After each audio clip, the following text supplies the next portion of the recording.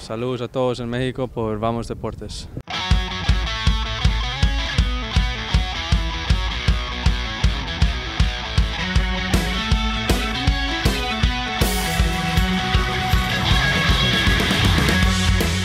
Amigos, vamos deportes, es un gusto poder saludarles aquí desde la ciudad de Fort Lauderdale en el calor de la Florida porque ya se encuentra en este territorio la selección de las barras y las estrellas previo a su partido amistoso del próximo martes ante la selección hondureña. A pesar de que el conjunto catracho se encuentra en una crisis, el equipo dirigido por Jürgen Klinsmann afirma que será un partido de vital importancia de cara a su camino hacia la Copa Oro del 2015. Estas son las palabras de los jugadores previo a este partido.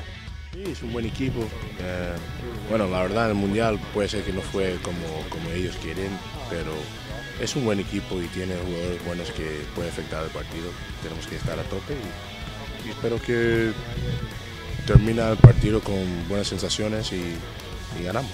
Sí, la sensación es que estamos empezando un ciclo nuevo, con eh, de introducir un- unos jugadores jóvenes, nuevos y tratar de jugar diferentes, creo que formaciones um, prácticamente y todo y tratar de crecer de- como equipo, ¿no? Ah, estamos intentando varias cosas nuevas y creo que esto no- nos va a ayudar al futuro y claro, Honduras es un rival bueno, ah, está en CONCACAF y eh, también estamos preparando para este verano, para la Copa Oro.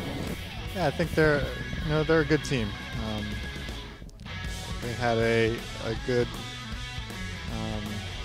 qualifying campaign. Not the not the World Cup that they would like to have, but um, they're always a dangerous team. They have some young talent and um, some good players.